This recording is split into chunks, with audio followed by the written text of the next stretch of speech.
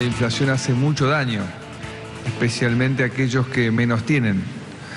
Y estamos trabajando para que durante el 2016 y el 17 vayamos hacia lo que todos sabemos que necesitamos, que es tener una inflación de un dígito.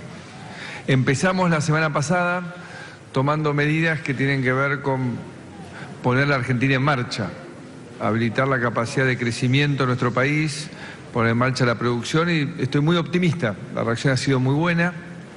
Pienso que eso va a empezar a generar actividades por todo el país y vamos a volver a crearse nuevos empleos.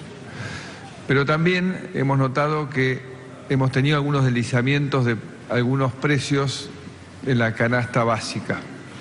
Por eso, en línea con cuidar a los argentinos, mientras trabajamos y seguimos trabajando desde el Ministerio de la Producción con los empresarios, con las organizaciones sindicales para que esta transición sea lo más ordenada posible, hemos tomado la decisión de dar un aporte de 400 pesos a todos los chicos que tienen la UH, las madres embarazadas y las jubilaciones básicas. Esto es un universo de 8 millones de personas a las cuales la semana que viene, antes del fin de semana largo, se les va a liquidar por los sistemas habituales de pago estos 400 pesos, buscando de esa manera contener y ayudarlos con la canasta navideña, que claramente es lo que estamos apuntando para los próximos días.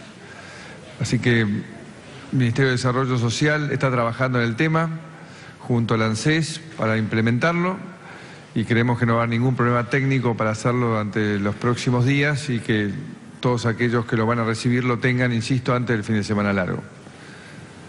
Preguntas a disposición.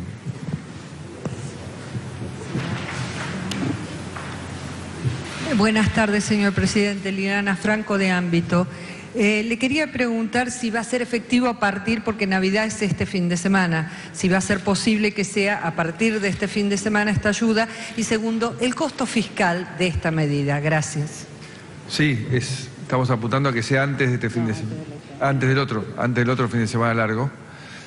Y el costo fiscal es alrededor de 3.300 millones de pesos. Presidente, acá Mariano Rinaldi, el exprimidor. Eh, usted la semana pasada en la Unión Industrial Argentina dijo que en su gobierno no iba a haber ningún moreno, pero que el, gobierno tenía mecanismos para controlar los precios. Acaba de decir que los precios eh, observa algunos incrementos. ¿Qué tipo de mecanismos usted va a atacar esta cuestión de la suba de precios, además? Conversando. Hay un buen espacio de trabajo que se ha creado.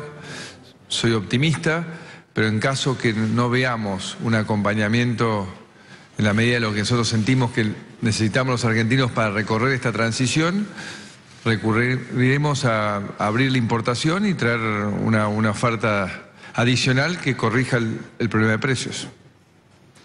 Eh, Marcelo Peláez de Canal 3 y TN. Presidente, quería eh, trasladarle una inquietud que planteó Hugo Moyano y que luego eh, hicieron propia varios sindicalistas. Todos ellos dicen el gobierno le está dando concesiones a, empresarios, al campo, pero no a los trabajadores que en este caso ganan más de 30 mil pesos por la liquidación de ganancias respecto del aguinaldo. Eh, también han pedido varios de ellos un bono de fin de año, en especial eh, aquellos sindicalistas ligados eh, a ATE y UPCN. Quería preguntarle si respecto de estas inquietudes que trasladan los sindicalistas hay respuesta de parte del gobierno. Sí las hay, por eso estamos trabajando todos los días, para que el país se ponga en marcha y eso asegure que primero cuidamos los trabajos que tenemos y empezamos a generar nuevos. Como también estamos trabajando para implementar el mínimo imponible nuevo que va a reducir esta estafa que ha generado también la inflación, cobrando el impuesto a las ganancias a trabajadores que a misma tarea hace, unos años atrás no pagaban impuestos a las ganancias y lo único que pasó es que nominalmente ganan más billetes, pero no ganan en realidad más dinero y, es injusto que se le esté cobrando impuestos a las ganancias.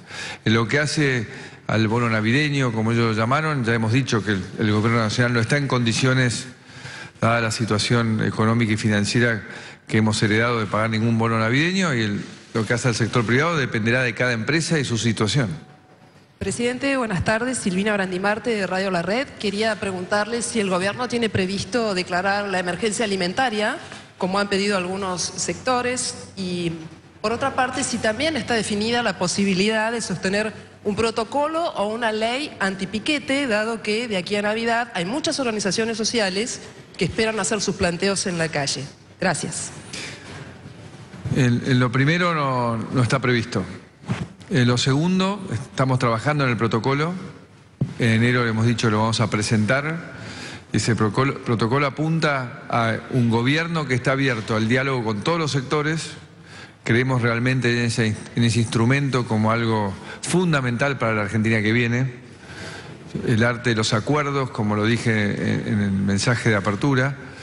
Yo les, les pediría que realmente entendamos que la forma de expresar los reclamos afectando a los demás es un camino que no tiene que ver con el diálogo, tiene que ver con la prepotencia, tiene que ver con el abuso y acá lo que necesitamos es reducir el nivel de conflictividad, reducir la problemática en la Argentina y encontrar espacios donde sentarnos a trabajar juntos para construir soluciones nuevas a viejos problemas.